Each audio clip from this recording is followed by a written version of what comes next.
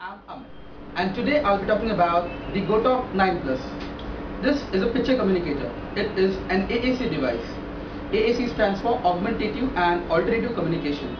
This device is for those with speech difficulties.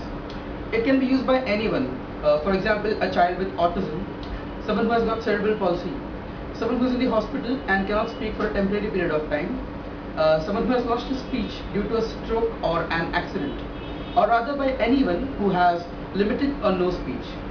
It is as simple as you press a button I am thirsty. I need water. and the GoTalk will speak for you. The basic idea behind the GoTalk is the caregiving person, uh, which is which can be a mother, a teacher, or or rather anyone, uh, can identify the needs and the requirements of the person with speech difficulties and can can select various picture messages for him and can uh, synchronize those by recording messages on the GoTalk. When we, when we look at the GoTalk,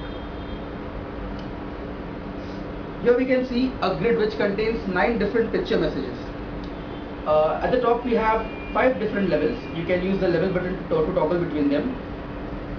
Ha the, the benefit of having five different levels is you can you can record a set of nine messages for, for five different levels, which means the total capacity of GoTalk 9 Plus is 45.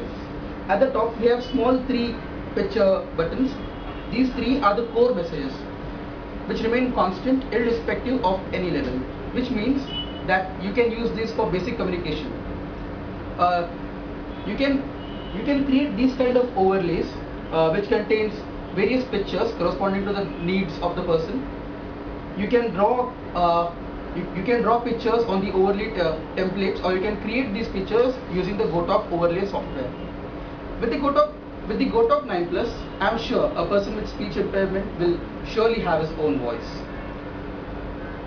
Try it for yourself. Thanks for watching.